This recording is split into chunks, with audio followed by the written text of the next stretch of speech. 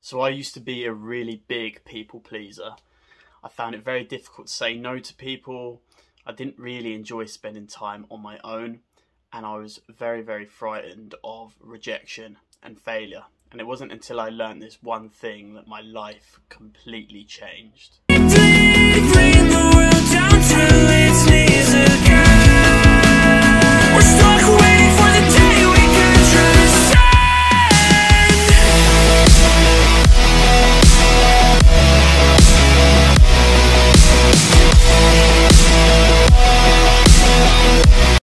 Going on guys? Welcome back to a brand new youtube video. In today's video i'm going to be talking about how i've learned to stop being a people pleaser. If you're a people pleaser yourself you're going to find this video to be very valuable. There's going to be a lot of information that i'll share that will really help you to start choosing yourself and start building yourself. The one thing that i learned on my journey and it's transformational is really really going to help you. So if you stay to the end of this video I can guarantee that you're going to find a lot of value. For those of you that are new to my channel new to my videos my name is Joe Dean-Bryson. I'm a men's life coach and fitness coach.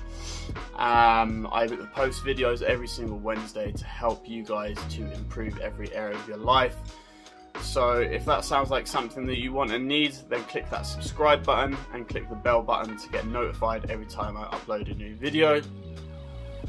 Um, but with that being said guys, let's get into the video. Okay, so I think the first place to start is obviously to recognize and understand, accept that you are a people pleaser.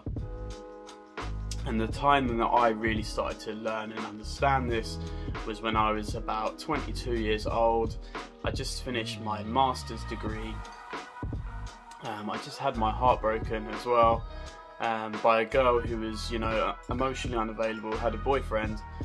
And that was a theme in my life like for a long time was just kind of looking for validation for acceptance from people that really weren't in a position to give me that.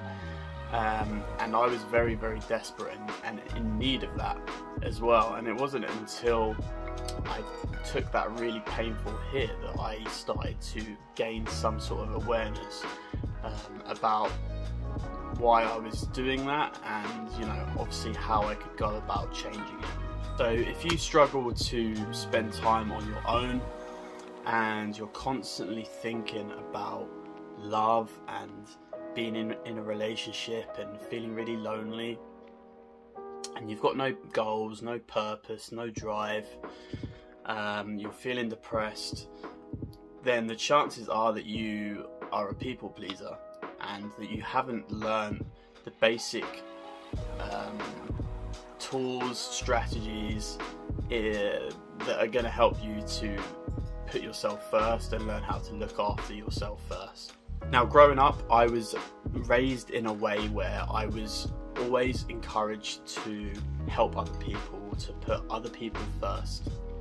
And I wasn't really educated about the importance of filling my own cup first, about looking after myself before I look after other people. And as a result of that, you know, I found myself drawn towards helping people, became a coach. Um, much of the work that I've done in my life has involved me helping other people, helping other people to improve in some way. And that was um, something that I didn't even perceive as being a potential weakness, a potential problem um, until that time when I got my heart broken, which I've told you about. And um, understanding and going back to the root of, um, of why why I was so desperate to help people has really started to improve my life. So I'm to dive into that a bit now. Okay, so my dad left when I was three years old, and my my mum obviously had to work a lot of hours. Like when I was growing up, I had to spend a lot of time on my own, and I didn't really learn how to socialize, how to um, how to put myself out there in a normal kind of way. So um, what I learned to do was basically to to perform, to show off, um, and that was my way of getting validation of getting acceptance and ultimately of getting love as well because obviously when my dad left it left a bit of a wound in my in my heart you know?